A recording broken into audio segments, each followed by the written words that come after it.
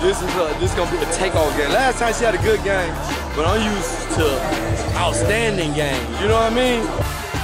Courtney Williams spins it in. They can't handle her. She was nervous last game. Watch this game. Williams will take and tip. Splashes in another from deep. Having my daddy there is crazy. It's, a, it's an amazing feeling to be able to look over there and seeing somebody that's bringing more energy to me. When she gets hot, buckle up. I told you. I knew it. Courtney, do you. Oh, It's your world.